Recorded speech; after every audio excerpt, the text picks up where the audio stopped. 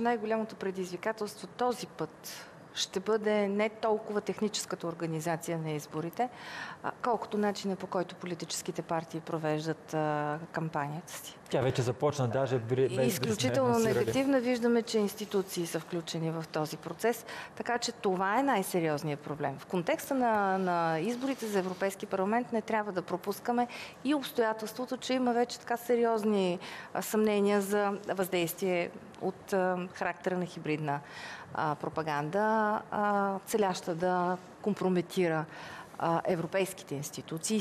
Според експерта, купуването на гласове остава най-големия проблем на изборите, а за организацията им има достатъчно време.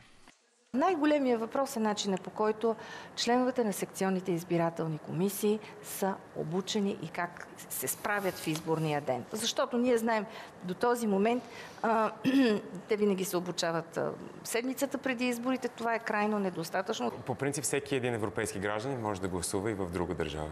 Аз лично съм гласувал в чужбина, когато съм живял в чужбина за Европарламент, без да имам нужда от адресна регистрация в тази държава. И без тази уседналост, която без се изисква. Да. Експерти смятат, че за да се справят с недействителните бюлетини, трябва добро обучение на секционните комисии, политическа безпристрастност и работещи машини.